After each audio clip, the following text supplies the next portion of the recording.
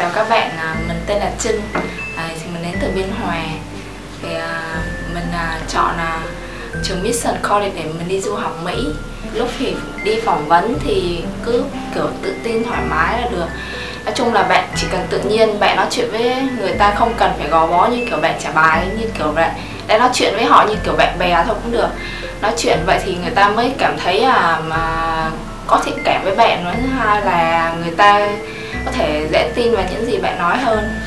Mình học thì mình học à, với anh Khôi khoảng 4 buổi thì à, bạn phải lên rõ cái dàn bài tiếng Việt của bạn bạn sẽ trả lời những nào, xong đưa anh Khôi à, ăn chất, rồi sau đó mà bạn có thể tự chuyển qua tiếng Anh hoặc nhờ anh ấy hỗ trợ chuyển qua tiếng Anh học bạn. Thì có cái gì, thời gian chuẩn bị, nói chung là thời gian chuẩn bị bạn, nếu mà bạn đã muốn đi du học Mỹ thì bạn phải chuẩn bị cẩn thận chi tiết rồi nói chung là có đầu tư thời gian cho nó. Rồi qua sau đó khi bạn test phỏng vấn thì bạn phải chú ý cái cách phát âm của bạn. Nếu mà bạn phát âm không chuẩn thì bạn có thể uh, lên trên mạng tra. Nói chung là nói từ nào ngắn gọn dễ hiểu này mấy từ đơn giản nó cũng hiểu rồi. Tại vì phỏng vấn người ta toàn nói từ đơn giản. Còn không thì bạn có thể xin nó trả lời tiếng việt cũng được không sao hết. Nhưng mà đa phần đi du học thì nên trả lời tiếng anh để cho nó biết cái ngoại ngữ của mình như thế nào.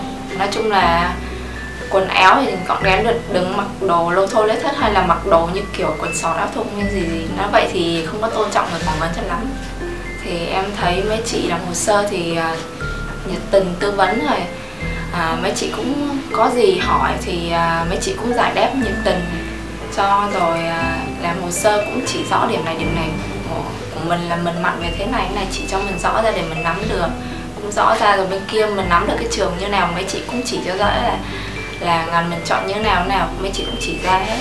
À, nói chung là bạn rớt thì cũng không sao cả. Bạn chỉ cần chuẩn bị uh, kinh nghiệm cho lần sau phỏng vấn tốt hơn là phỏng vấn mỹ. Không có giới hạn số lần nên là nếu mình rớt chỗ này thì lần sau mình phỏng vấn tiếp. Nói chung là đừng có kiểu mà đi phỏng vấn mà như kiểu là rớt về này kia bị áp lực như kiểu bố mẹ thế này.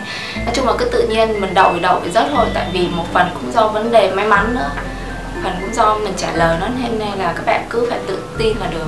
Đây là lần phỏng vấn thứ ba của mình. Nên là kinh nghiệm của mấy lần trước của mình như thế nào thì lần này do mình cứ thoải mái tự tin.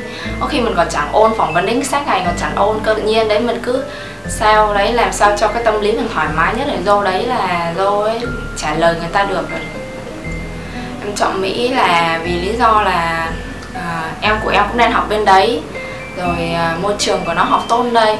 Với lại là về nhà em có cơ sở sản xuất kinh doanh về sau là em muốn mở thêm một cái chi nhánh của nhà công ty của nhà rồi có thể quản lý hoặc là có thể mở thêm một trung tâm ăn ngữ chẳng hạn. Nói chung là nếu bạn đã rớt ờ, visa thì bạn cứ à, làm lại đi. À, cơ hội à, nói chung là phỏng vấn có người còn tới lần thứ 13 người lần thứ bảy thì nói chung bạn cứ kiên trì là được. Chung phải có đầu tư thời gian. Nếu mà bạn đã muốn đi phải có đầu tư thời gian với thực sự muốn đi thì các bạn cứ làm đi làm lại không sao hết vấn đề là bạn phải ờ, nói chung sửa chữa lại từ mấy lần trước rồi, tự tin với lần phỏng vấn là được. Mình chúc các bạn là phỏng vấn đi xe động